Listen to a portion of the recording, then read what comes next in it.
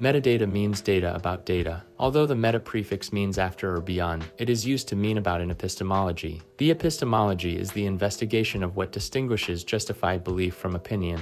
Metadata is defined as the data providing information about one or more aspects of the data. It is used to summarize basic information about data that can make tracking and working with specific data easier. Some examples include means of creation of the data, purpose of the data, time and date of creation, creator or author of the data, location on a computer network where the data was created, standards used, file size, data quality, source of the data, process used to create the data. For example, a digital image may include metadata that describes the size of the image, its color depth, resolution, when it was created, the shutter speed, and other data. A text document's metadata may contain information about how long the document is, who the author is, when the document was written, and a short summary of the document. Metadata within web pages can also contain descriptions of page content, as well as keywords linked to the content.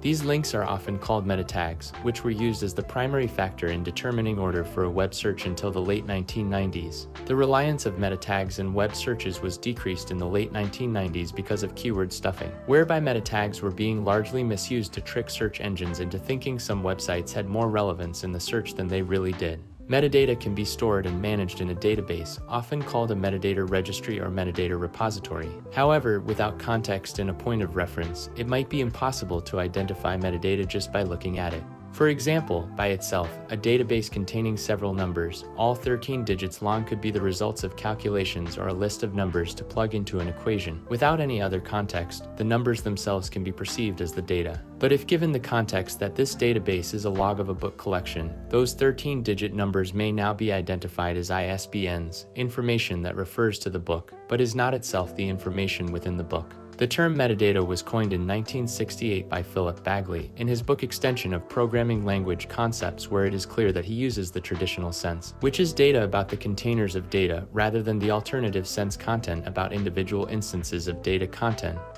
or metacontent, the type of data usually found in library catalogs. Since then, the fields of information management, information science, information technology, librarianship, and GIS have widely adopted the term. In these fields, the word metadata is defined as data about data. While this is the generally accepted definition, various disciplines have adopted their own more specific explanation and uses of the term. Slate reported in 2013 that the United States government's interpretation of metadata could be broad and might include message content such as the subject lines of emails.